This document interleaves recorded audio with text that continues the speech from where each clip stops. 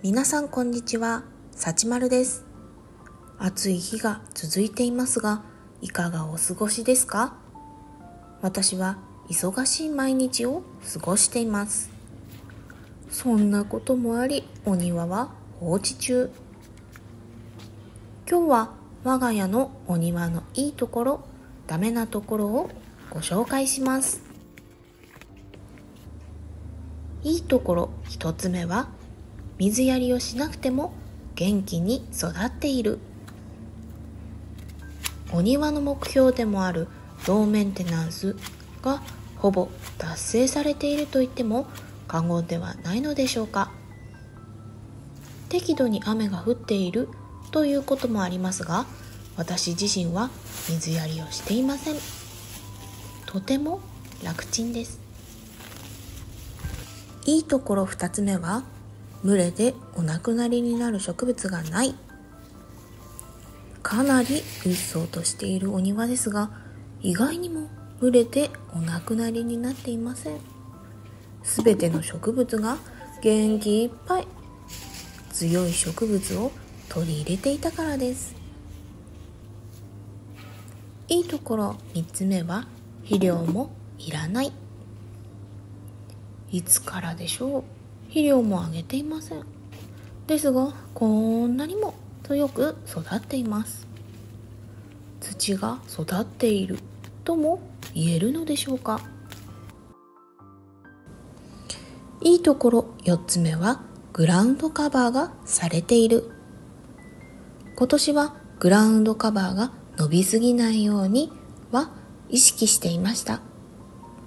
1回5分だけという気持ちで芝刈り機を走らせました。芝刈り機のハードルを下げるため刈り取った草の受け皿を取りました。ブーンと走らせるだけ。刈り取られた小さな草たちはあちこちに飛んでいきます。意外にも飛んでいった草たちのせいでグラウンドカバーが蒸れてしまったということはありません。刈り取られた小さな葉が気になるということもなく一瞬で地面に馴染みます。ハードルがかなり低くなるのでおすすめです。我が家のお庭のダメなところ。一つ目はお花が咲かない。伸び放題のため咲くはずだったお花たちが日光を浴びれず今年は咲きませんでした。雑草対策にと春に花壇にもみ殻と腐葉土をまきました。しばらくは良かったのですがやはり自然の力ではダメですね。太刀打ちできませんでした。2つ目は毛虫が発生。花壇内にあるもみじに大量のイラガの幼虫がいました。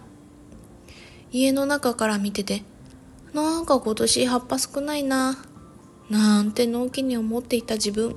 反省です。